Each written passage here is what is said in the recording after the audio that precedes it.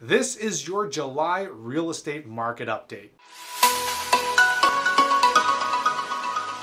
Hey everybody, I'm Steven Ho with the Mister Sauga Real Estate team at Better Homes and Gardens, and today we're going to talk about how the market is doing for the month of July.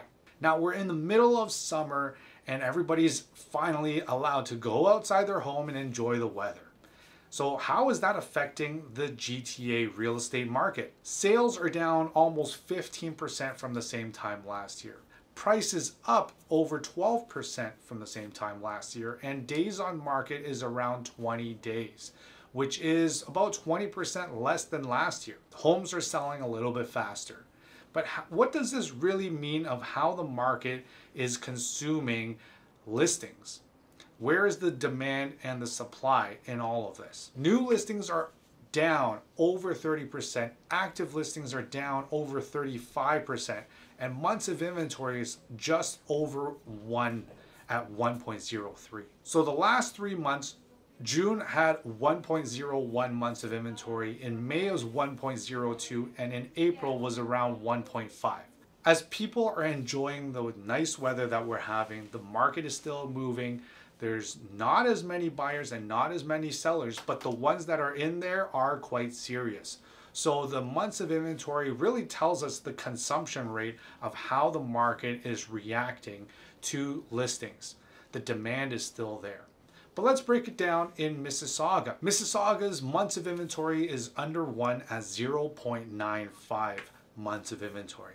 So breaking it down to the different segments, here is where we can see some of the opportunities and how the market is really moving in the different segments. So in the detached segment, we're at 1.04 months of inventory. That's 31 days of inventory.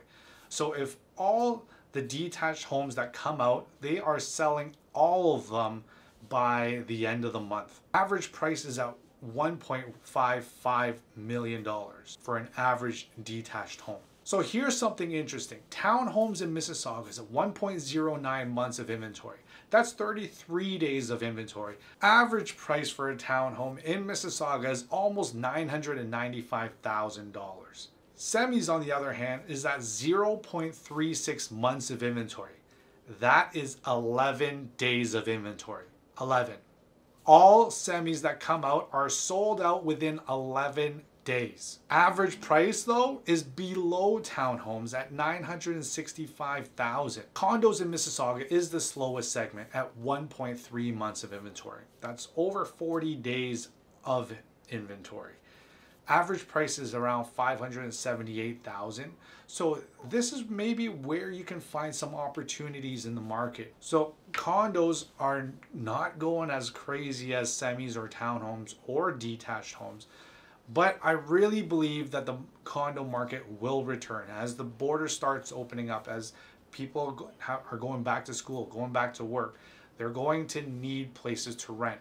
And the rental market for condos specifically is going to really rebound and lift the resale value of condominiums. So if you were to get in, you should probably get into it now before that rebound is fully complete.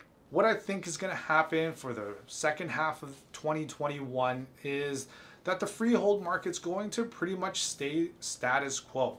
But the condo market is probably going to rebound as the borders open up, as I mentioned, all those reasons, the condo market is going to come back.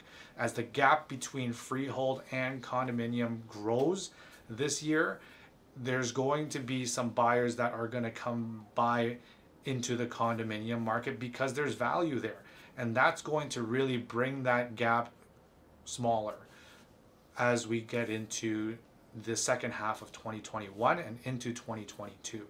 So if you have any questions, we're here to help. I'd love to talk real estate. And until then, follow for more real estate tips and market stats and insight.